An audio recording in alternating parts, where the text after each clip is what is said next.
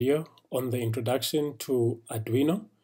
My name is Afikile and I will be your host for this series of videos. If you have not seen the first two videos, please click on the videos on your screen and you can catch up to the work that we have done so far. In today's video, we are going to add uh, two LEDs and two resistors. And we spoke about that in the previous video, which I encourage you to go and watch. I want you to pause this video and I want you to select two LEDs and two resistors. I suppose then you have selected that. Now that you have two LEDs and two resistors, we are going to connect the LEDs one at a time. So you may pause the video and try and connect your LED to your breadboard. Well, well done. Now you've connected your LED to your breadboard. We are now going to connect you, our resistor to our breadboard. We want to turn it to its side. We say that we are going we, we connect we'll connect it to our positive rail. The positive is the one that is bent and the negative is the one that is straight. So we have connected that. Then the next thing is to then connect our negative to the negative of our breadboard. And we said that we want it to be black. And uh, well, let's just tidy it up.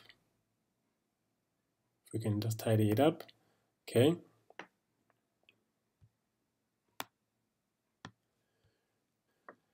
The next thing is to connect a jumper cable that will come out from this resistor. So it is coming from this resistor here and it will connect to pin number 12 on our Arduino and we just want to tidy this jumper cable up and then we can continue.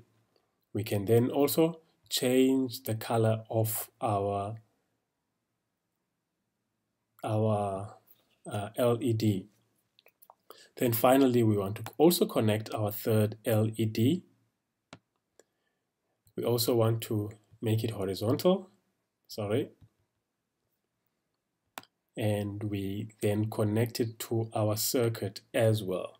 So I want you now to connect a third jumper cable to pin number 11 on the Arduino and also connect the negative pole to our breadboard. So pause the video and do that step.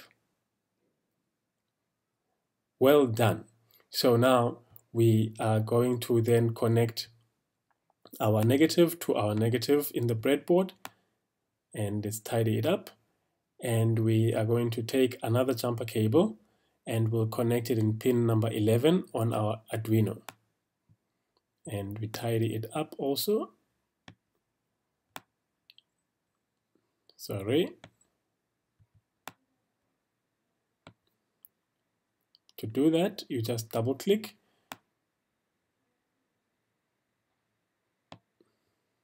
Okay. That is our sketch and we want to change this and make it to green.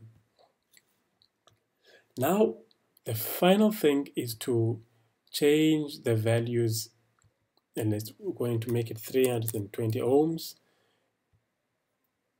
Why we are making 320 ohms is for another video. We are not going to discuss that for now, but uh, you may just make it 320 ohms for the resistance.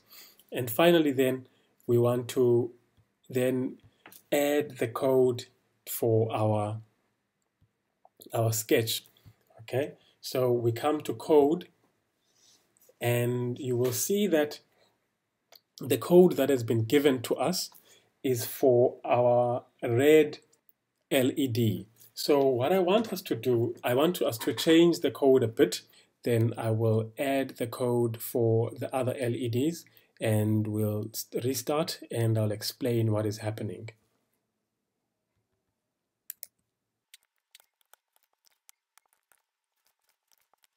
All right, so Now we have our code done. What we've done here is that we are saying the pin mode is 13 and it's an output. And what that basically means is that this pin, we are going to use this pin, we are going to put it in a state of an output. Uh, you will remember from the other video we said that a pin, the digital pin, can either be an input, which gives information to the Arduino, it, or it can be an output.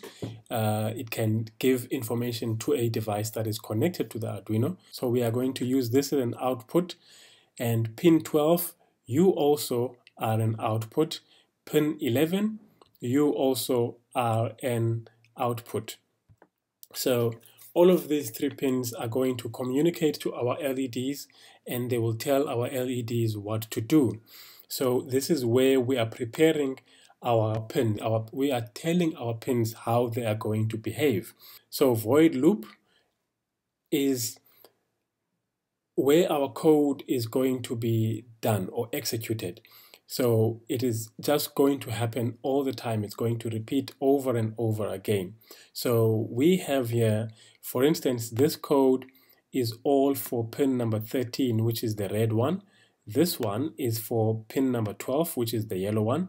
And this one is all for the pin uh, number 11, which is the green one. Which is the green one. Okay, so now we are saying digital write pin 13 high. So what digital write is is is is basically a, a function that we use to write a value or to write high or low to our pin. Uh, the high or low means on or off. It's an it's a state of on or off. So when we say digital write, we are then writing to our pin uh, to pin 13 that it must turn high or it must turn the LED on and then we are saying delay by half a second and then digital write put 13 pin 13 off and we will see how it's going to happen. So it continues it does so it, it switches it on it switches it off it switches the the second one on and that one is off already and then it switches it off again and then it switches this one on it switches it off then it goes and restarts the process. So I'm going to start simulation now and see how it behaves. So you'll see now it starts, it starts. So each of them, they they switch on for, for half a second, they switch off, switch on for half a second and switch off. And so that is how we turn our LEDs on and off. What I want you to try and do is to change the times that we have used here.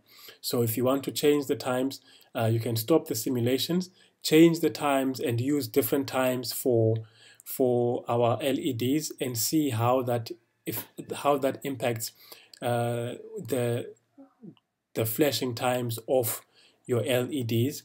And if you if you want to explore, I would then ask you to also uh, put additional LEDs on the breadboard and connect those and make it work. So if you have done that, please share your experience in the comment section below and tell me how that worked. And um, that is the end of the video, ladies and gentlemen. Thank you very much for listening once again. I trust that you have learned uh, something.